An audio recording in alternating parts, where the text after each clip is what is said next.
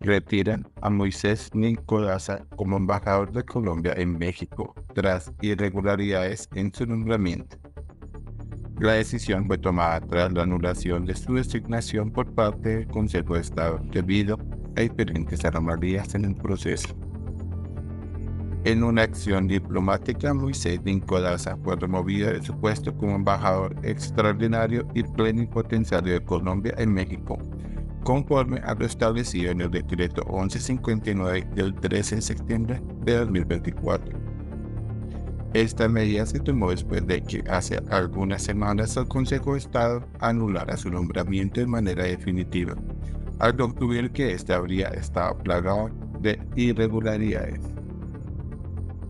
El decreto, velado por el canciller Luis Gilberto Murillo, detalla claramente el proceso y las implicaciones del retiro de Nicolás del servicio diplomático. Por otro lado, el documento también especifica las condiciones de retorno diplomático al país, conforme a las disposiciones establecidas en el decreto 274 de 2000 y establece que las erogaciones correspondientes serán cubiertas por los presupuestos del Ministerio de Relaciones Exteriores y el fondo rotatorio del mismo ministerio.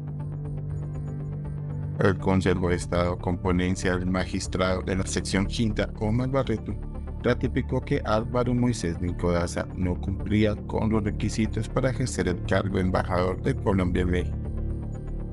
según la decisión del alto tribunal, el ahora exfuncionario carecía de la trayectoria necesaria en la carrera diplomática,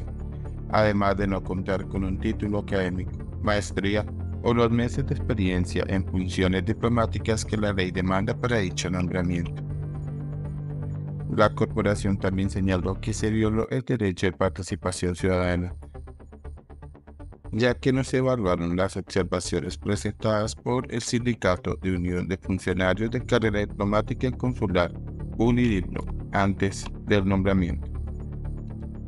Asimismo, se determinó que no se agotó el trámite de publicidad de la hoja de vía de Nicolás, lo cual genera una fractura del principio de la democracia participativa, aspecto fundamental de la constitución política, tal como señaló la ponencia del magistrado Barreto. Esta serie de incumplimientos llevó a la nulidad definitiva del nombramiento, confirmando las irregularidades en el proceso de designación.